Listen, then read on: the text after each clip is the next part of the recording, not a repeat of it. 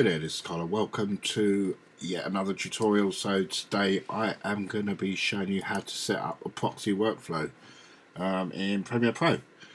Um, it's a handy um, workflow if you're running a low spec computer or your computer's you know super powerful but you just need that little bit of extra speed while uh, editing your videos.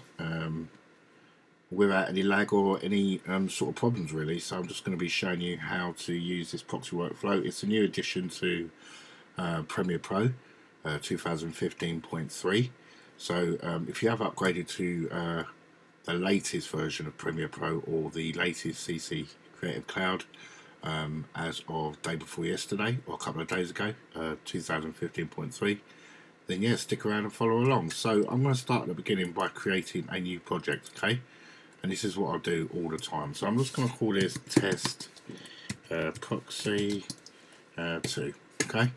And then I'm just going to go to browse and then I'm click to my desktop and just choose uh, where I want my folder to go.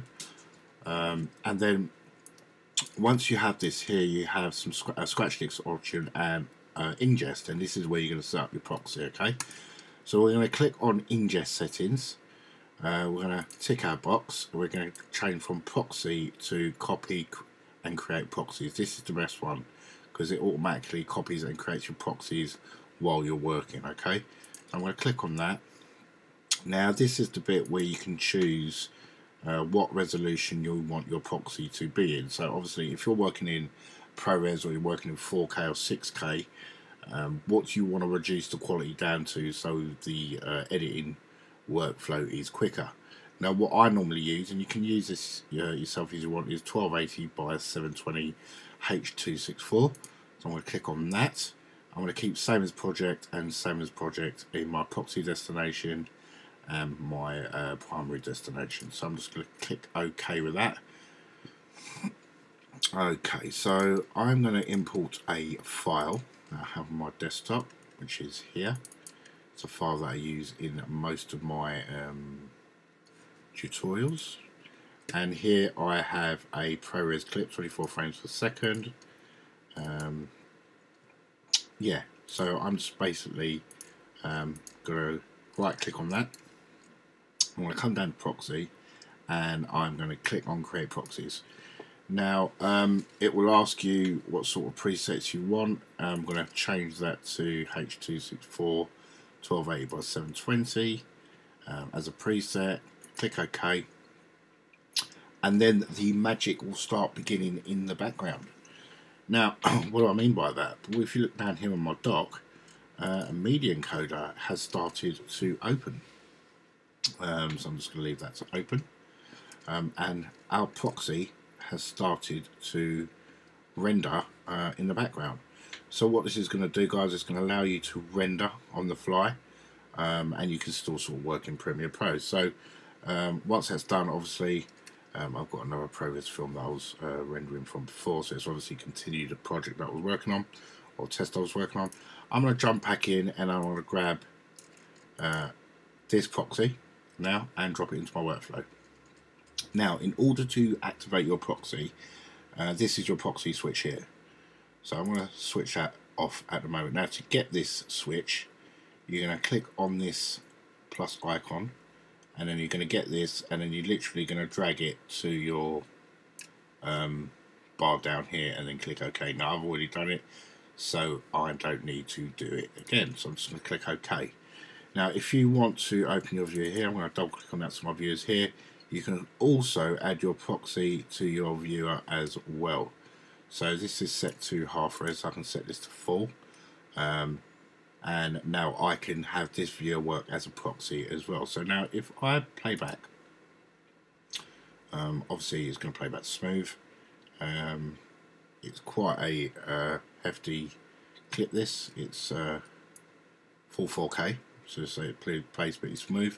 But say you're having um, a problem with lag, um, you're going to hit that proxy button and this is what it's going to do. So I'm just going to click it, it's going to downscale it, um, the quality, um, so it's going to run a lot quicker on your system. Now the a lot of people work while the proxies are rendering in uh, Media Encoder. I've just said I've just literally done mine. Mine's complete, and the way you know it's complete is by this yellow line here. So if I was to try and find, I don't know if I've got another clip here for you guys to show you an example. Um, let's go back to Premiere Pro. Let's go to uh, import. I'm going to try and find another clip uh, for you guys. Uh, don't know what I'm going to find because I don't think I've got anything. Let's go back. Um, video library. Okay, so we might have something here. Um, let's get this uh, project Lugia um, thing here. Now, as soon as I open the video up, okay, and add it to my uh, project uh, files, um, it's going to start process automatically, as you can see here, and it's going to run it in the background. As you can see, it's running it and encoding it to the settings I set in my proxy, okay, but this is a full 4K um, image, it's a full 4K video. So once that's done, um, I can then drag this onto my timeline. But normally it would normally be um, a different color um, if your proxies weren't set. So I can just drag this um, and just drop it in here after it's done. And so put it here. And as you can see, this proxy is not finished yet because it's still red. So if I open this up, as you can see, the proxy is still rendering but it's going to give you the option to change that to a proxy um, so you can basically work um, in it. Now this may lag because um, it literally is um, two different images but obviously it's running fine on my system. There's a bit of lag there even with proxy on and the reason why is because it's still rendering in the background. If we click it back and then play there you go, should play absolutely fine with a tiny bit of lag. Now, obviously, I've got two clips here which are totally different formats, um, which doesn't help. So if I go here, I want to turn off my proxy, turn it on again, and then push play. And that's a little bit of lag there. Turn it off. And it's going to lag even worse. As you can see there. But we'll wait for the proxy to complete. So as you can see there, the proxy is still uh, rendering. Uh, this scene, quite a heavy scene this actually, it's full 4K um, this scene. So once that's done, this timeline will turn to uh, yellow. Now they say you can sort of work um, a lot smoother um, in this. Now normally, even if I'm working, say for instance in 1080p, I'll, I'll go to half res. Um, no matter what, um, it just helps. You know, it just helps. But you can see there, if I change that to a proxy, um, it's going to run a little bit better but where it's rendering in the background it doesn't really help a lot anyway. So they say it's a lot better proxy um, while you're working because it allows you to work on the fly but technically it's not better it's the same. But what you do is you wait for the renders. So what I'll do is say if I'm working on a film project okay um, I'll set up my proxy at the beginning of the project alright and then what I'll do is add all my files and folders here and just leave the computer alone. I will leave it to add all the proxies and all the and, and basically create the proxies in the background. Now once they're complete then as you can see the bar here um, then I will jump back into my workflow and basically start working and it will be lovely and smooth uh, to work with very ha uh, handy if you're um, uh, what's the word using uh, a lot of color grading you know a lot of you can even drop this to quarter res actually. Um, if you want to help your workflow while that's transcoding you can see that plays absolutely fine. Um, it's a bit pixelated but still as long as you can see the video and you can scrub through uh, no problem and you can edit your footage um, it doesn't really matter what frame rate you work in as long as you click back to full when you render you should be good to go. Um, but once the proxy is actually complete um, completed um, yeah um, as you can see it's still rendering like I've just said it's a really heavy um, it's a really heavy uh, scene. So yeah that's why that's taken a bit of time. But I think you sort of get the general idea of how this works.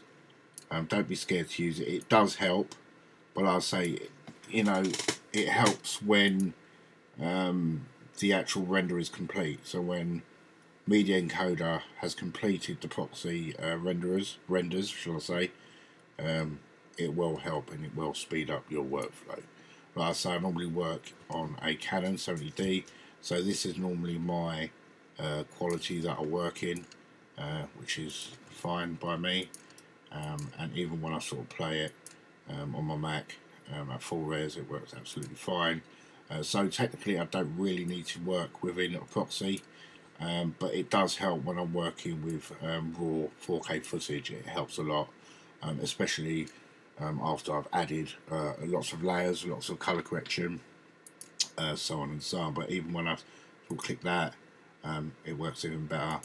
Even when I add loads of uh, filters to my uh, scenes, so I always got a solid green um, light uh, when I'm working. This is going to help the guys that are working on, say, laptops, working on computers that are pretty low spec um, with low-end graphics cards. Um, this is going to help you guys out a lot. So, uh, yeah, I hope this video has helped um, you in some way or, or another. Um, as always, thanks for listening, guys. If you have enjoyed this video, a like rate would be appreciated. And I'll definitely catch you guys in the next video. Ciao, ciao.